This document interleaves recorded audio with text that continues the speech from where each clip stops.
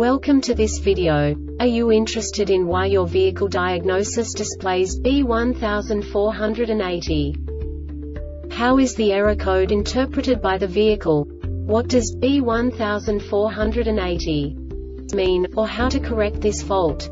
Today we will find answers to these questions together. Let's do this. First, let's look at the history of diagnostic fault code composition according to the OBD2 protocol, which is unified for all automakers since 2000. We divide the electric system of automobile into the four basic units. Powertrain, body, chassis, network. This distribution is defined in the first character code. If the second character is expressed as zero, it is a standardized error.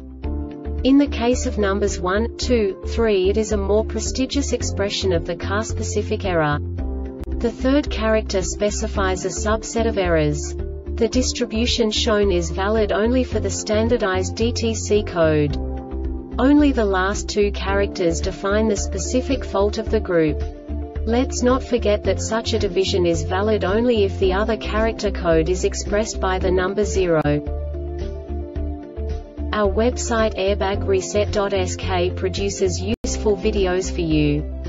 You do not have to go through the OBD2 protocol anymore to know how to troubleshoot any car breakdown. You will find all the diagnostic codes that can be diagnosed in a Chrysler vehicles.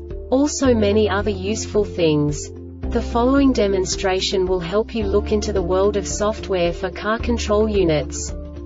You unbelievably can move the video a bit further. The error code is split into two bytes consisting of 16 bits.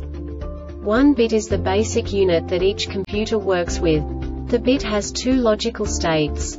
0, low level, 1, high level. By combining the first two bits, the basic character of the error code is expressed. The next two bits again determine the second character. The last bit styles of the first byte define the third character of the code. The second byte is composed of a combination of 8 bits. The first 4 bits determine the fourth character of the code. And the combination of the last 4 bits defines the fifth character. A single byte conceals 256 possible combinations. We now know in what way the diagnostic tool translates the received information into a more comprehensible format. The number itself does not make sense to us if we cannot assign information about it to what it actually expresses.